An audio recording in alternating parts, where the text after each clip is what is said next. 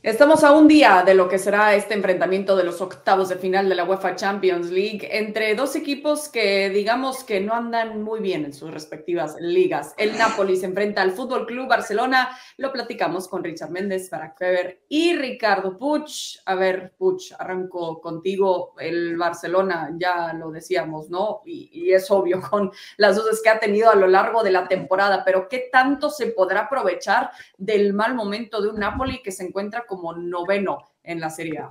¿Cómo estás, Cris? Saludos para Richard, para Barak. ¿Quién iba a decir al Barça, no? Que iba a llegar tan favorito a un cruce, por fin a un cruce de octavos de final, después de dos años consecutivos quedándose eliminado en fase de grupos. Y esa es la realidad, yo creo, ¿eh? Más allá de que el Barça es un equipo eh, con pocas garantías, porque, porque no las tiene básicamente, porque cada partido sufre, porque todos los equipos le generan, pasa malos ratos con la mayoría, resuelve partidos sobre la hora, como le pasó el fin de semana en Vigo. Con todo y eso hay que entender lo mal que está el Napoli para que el equipo, para mí, sí luzca, incluso diría muy favorito, ¿eh? para avanzar. Es cierto que el Barça es el único que se puede dar un tiro en el pie, creo yo.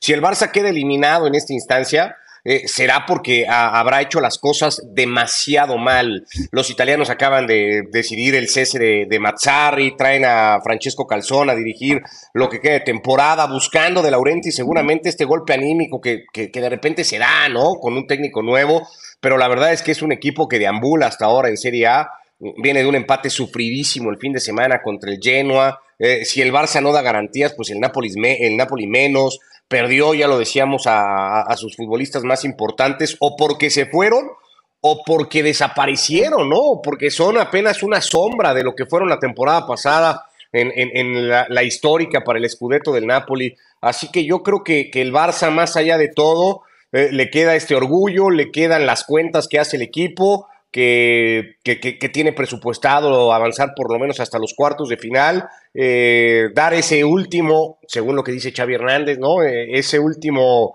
soporte a su entrenador que se irá después en junio. Eh, yo creo que el Barça lo tiene muy de cara para, para eliminar a los ¿Qué parece que es de esas situaciones, Barak, eh, como, como lo dice Ricardo, ¿no? Eh, que es favorito el Barcelona, que sería hacer un par de partidos muy, muy, muy malos si es que queda eliminado gana es pues lo que se le esperaba por parte del equipo blaugrana. ¿Qué tanto tiene que perder Xavi Hernández a pesar de su anuncio ya de que se va a final de la temporada? A pesar de este anuncio, ¿qué tanto tiene que perder en este cruce? No, tiene, tiene mucho que perder y, y ganando todavía le queda mucho que perder también, ¿no? Este, Ojo, donde logra eliminar al Napoli, que yo no lo veo tan claro como, como Ricardo, por supuesto, pero, pero también sí, o sea, estoy de acuerdo en que es favorito, no, no tan favorito como, como lo quiere establecer mi, querido compañero. Pero, pero ojo, donde entra al final y, lo descuarticen a este Barça, ¿no? Tendrá que mejorar muchísimo para que no se tope con un Inter o con un Arsenal o con un Real Madrid o con un Manchester City que lo haga pedazos y, lo deje todavía con, ganas de haber quedado fuera en octavos de final. Ya le pasó justo contra el Napoli. Eh, antes de enfrentarse al Bayern. ojalá hubieran perdido contra el Napoli en octavos de final, nadie se acordaría de eso, ¿no? En cambio, todo el mundo se acuerda de, del 2 a 8 en contra del Bayern Múnich, eh, que fue consecuencia de, haber avanzado a cuartos de final cuando al equipo no le tocaba. Em, no pueden quedar fuera los dos, son dos equipos en muy mala forma. Lo que sí es que si el Barça sufre lo que sufre contra equipos, solamente por por los más recientes, como el Granada, como el Almería, como el Celta, como el Alavés y como el Osasuna, el Napoli, con lo jodido que está, no es tan mal equipo como aquello. Es un equipo que tiene a un futbolista como Simen, que regresa a la Copa África, que algo eh, podrá hacer, me imagino, eh, y, que no está al alcance de, ningún, de ninguno de los equipos españoles con, los que realmente sufre el Barcelona y que no lo pueden castigar porque no tienen futbolistas de la calidad de Simen o de un Kvaratskhelia que, que, no pudo convertirse en mal jugador de la noche a la mañana, así como se hizo bueno de, de la noche al día eh, puede eh, recuperar la memoria en alguno de estos dos partidos. Y, ni el Granada, ni el Alavés, ni el Almería, ni el Celta, ni el Osasuna tienen este tipo de jugadores. Y, Politano tampoco, y Lobotka tampoco, y Samuel Guizá tampoco, etcétera. Sí, es favorito Barcelona por descarte, porque eh, el Napoli está Pero ligero, Barak, lo pones como ligero favorito. Ligero y además, ojo, yo, yo creo que, que, que, la salida de Mazzari lo, equilibra, ¿no? Porque con Mazzari el equipo no iba a, a, ningún lado, como, como tampoco con Rudy García, Vamos a ver, vamos a ver con, el que fue el de, de Sarri. eh, con Calzona. A ver, ¿no? Yo, yo, creo que, que, esa es la mejor noticia que puede tener el tifoso del, del, Napoli de cara al partido contra el Barcelona, que con Mazzarri no iban a ningún lado y con el nuevo entrenador, pues a ver hacia dónde van. Sí, y es que está este punto también del Napoli, Richard, de querer demostrar algo, pero igual del Fútbol Club Barcelona. Dijo algo muy interesante también Barak, que en cuanto a los cruces que ha tenido de los complicados o de los que se les ha complicado, ha sido de esos partidos en donde el Barcelona eh, llega como favorito. ¿En qué sectores del campo se le puede complicar al Barcelona frente a estos elementos que mencionaba Barak? Bueno, en principio, con el saludo para ti, Cris, Baraca, Ricardo. A ver, creo que lo que ha estado muy por debajo de lo esperado en el Barcelona, sin duda alguna, es la defensa. Pero aparte de eso, siendo Barcelona un equipo que sufre mucho en defensa, que llega tarde a sus relevos, donde se distrae muchísimo Ronald Araujo o Íñigo Martínez, no te terminan de cumplir las funciones, la ausencia de un lateral que se sienta bien en la posición por la izquierda, el trabajo que es necesario exigirle de manera permanente a Cundé eh, eh, te hacen ver un Barcelona que es muy frágil en esa zona defensiva, que igual todavía tiene respaldo y calidad en la mitad de la cancha y obviamente en el ataque, porque de pronto Lewandowski te puede fallar tres o cuatro, pero igual sigue siendo Robert Lewandowski, ¿no? Quizá lo que yo termino de, de ver y sí le doy mm, mayor favoritismo a Barcelona, más allá de ser un equipo que sufre en la liga, que sufre contra rivales pequeños y lo viene demostrando jornada a jornada. Barcelona, pese a todo ello, es capaz de sacar los resultados. 10 eh, puntos de 12 jugando mal y defendiendo mal, pero ganando los partidos, igualmente significa un aval para el equipo azulgrana. Cuando lo pones delante del Napoli, que está atravesando muy mal momento, que no saca los puntos, pero que más allá de la movida de Mata y el, retirar a Walter Mazzarri y darle el lugar a Calzone, también entendemos que es un equipo con profundas, me parece a mí, fricciones dentro del vestuario. Y eso se nota en la cancha, eso se va a notar cuando te enfrentes a un equipo que tiene más apetito, que tiene más obligación, porque hoy Barcelona está mucho más obligado que el Napoli. Entonces yo creo que con todas las deficiencias que podemos encontrar en el equipo de Xavi, con, con lo dispar del discurso de él, tratando de mostrarse feliz por haber ganado en Balaídos de la forma que lo gana con ese penal sobre el final, pero que casi al mismo tiempo Pedri te dice que es necesaria una autorreflexión y una autocrítica que no se la ve al entrenador.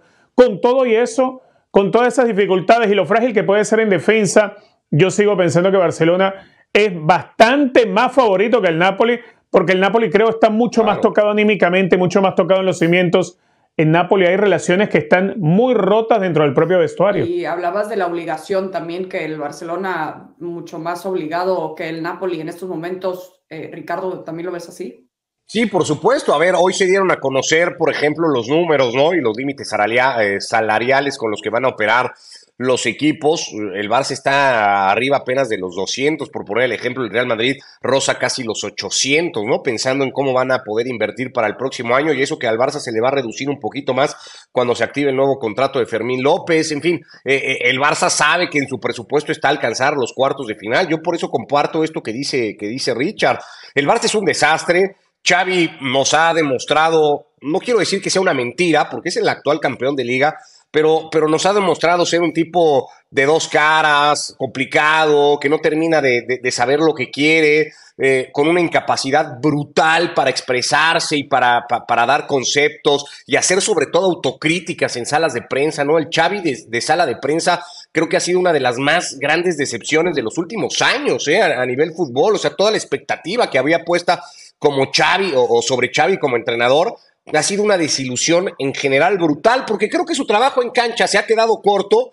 Y, luego creo que porque ese Xavi que se tiene que parar, que ser líder, que asumir compromisos, que mandar mensajes, que ser claro al hablar, ese ha sido desastroso completamente. Pero yo coincido con lo que está diciendo Richard. Al margen de todo eso, veo, veo un equipo mucho más en ruinas en Italia, sin la exigencia además que, que saben que tiene más allá de que todo el mundo quiera y que presupuestalmente a todo el mundo le convenga estar entre los ocho finalistas de Europa, eh, eh, el Napoli y sus futbolistas, no sé si tienen eh, eso que sí, yo creo que sí le va, le, va a quedar a los futbolistas del Barcelona, esta especie de compromiso, más allá de que además Xavi, a ojos de la mayoría de nosotros, haya sido el primero en abandonar el barco, en bajarse cuando, cuando están naufragando, él ha dicho, pues yo de aquí el primero que se va al barco de rescate soy yo y se ahogan ustedes. Esa es la sensación que pudiera quedar de lo que hizo Xavi Hernández, más allá de que él lo entienda diferente. Yo sí creo que hay muchos futbolistas, la base por lo menos, los jóvenes futbolistas del Barça, los de la Masía,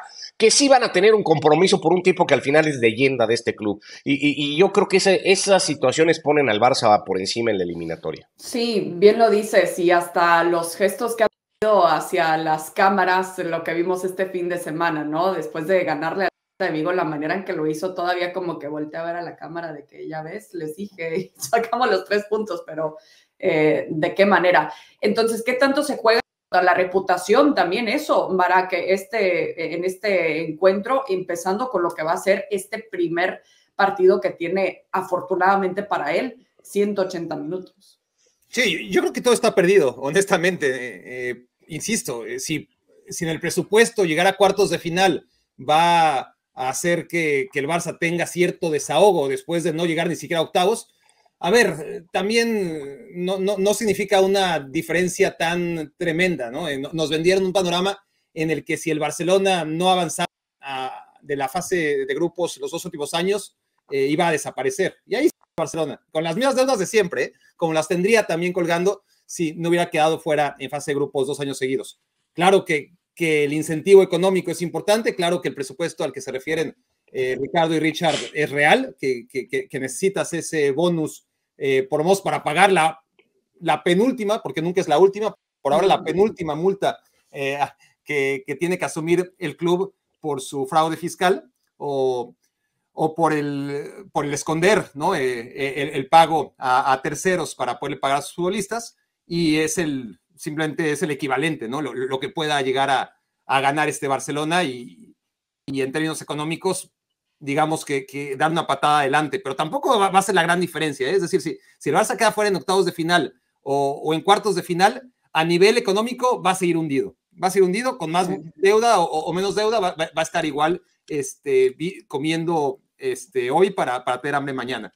Pero a nivel deportivo yo insisto en eso. Es decir, no podemos adelantarnos, por supuesto que, que habrá que jugar los dos partidos, habrá que ganarlos. Si los gana, eh, será seguramente por un margen mínimo. Yo, yo no veo al Barça ganando cómodamente, para nada. Y si lo hace, ojo, porque puede quedar todavía peor. No sabe si le puede tocar un rival que, que realmente en, 180 minutos lo deje mucho peor parado de lo que habría quedado en caso de quedar fuera de pero Pero no puede calcular eso el Barça, Barak, ¿no? Estamos de acuerdo. O sea, el Barça no, puede decir este escenario que me eche el Napoli en lugar de que me gole el City, no puede hacerlo. que yo ya dije, eh, claro, no, no, no lo puede hacer pero nosotros analizando las consecuencias que puede tener eh, una victoria, pues económicamente va a ser un cierto desahogo, deportivamente ganarle al Napoli, a este Napoli que, debería vestirlo y, que es el duelo de campeones España contra Italia, por la realidad es que son dos equipos acabados. Eh, nuestra visión, o sea, no, no, no de Xavi y de sus jugadores, nosotros que estamos afuera, podemos advertir, ojo, porque a final de cuentas, a ver si no le sale más caro. Sí, claro, y pero a final de cuentas, en cuanto a lo económico, está en una situación donde dice, bueno, pues algo es algo y no puede decir, bueno, es poquito, o sea, se está jugando mucho más y bien lo comentan, ¿no? El tema económico sigue siendo bastante relevante y lo mismo estarán pensando en que les urge quedar entre los primeros cuatro lugares, más allá del orgullo, más allá de que la afición se pueda quedar con esa calificación a la UEFA Champions League, sino en lo económico poder respirar algo más tranquilamente, aunque como dice que es el, no es el último, es el, para mí es el penúltimo, el penúltimo, el penúltimo, y todavía sigue también el tener que recuperarse de todas formas el Fútbol Club Barcelona, empezando con este partido frente al Napoli.